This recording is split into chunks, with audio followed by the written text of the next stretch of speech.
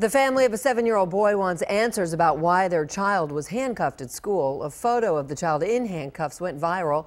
Dallas ISD says the restraints were used to prevent the child from hurting himself, but the family says that does not explain everything. Fox 4's Dion Anglin is at the Gabe Allen Charter School that's in West Dallas with more from the family and the attorney. Dion. Yeah, Heather, the seven year old boy, as you mentioned, is once again in the custody of his family. They got the news uh, while we were with them just a couple of hours ago. However, as you mentioned, they still want answers as to what happened on May 9th at this school to warrant handcuffs on their little boy.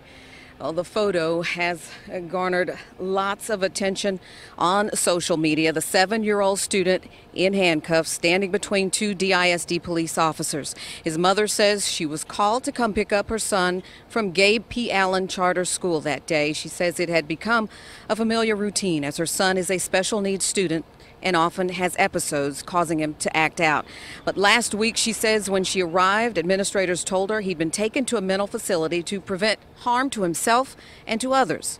Now, DISD says it cannot discuss specifics due to student privacy laws, but the district sent a communication to parents in wake of the viral photo on social media. In part, it says the image you may have seen posted is of a student while he is being restrained to protect himself against any further harm. We ask for your help during this period to not continue to spread misinformation. Today, the boy's mother and grandmother, along with their attorney, got word of the seven year old's release from that facility just as they began a news conference.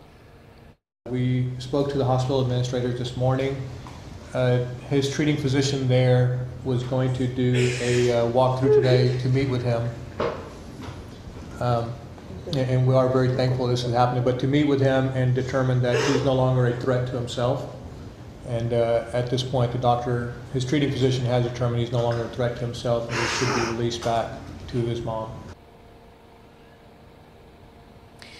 Now, the family says they believe they were unfairly denied involvement into the decision making process with their seven year old. Now, they have requested detailed, a detailed accounting of what took place on May 9th. Now, also, they have questions about whether the staff in place here on that day had the proper training to deal with their son's, uh, as they put it, well known um, issue regarding his special needs. That's the latest live here. Heather, back to you. All right, Dion, thank you.